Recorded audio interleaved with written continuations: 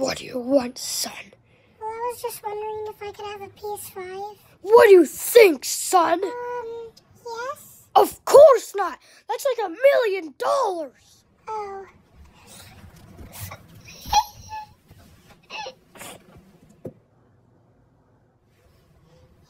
Dad, you know how yesterday you said that I couldn't have a PS5?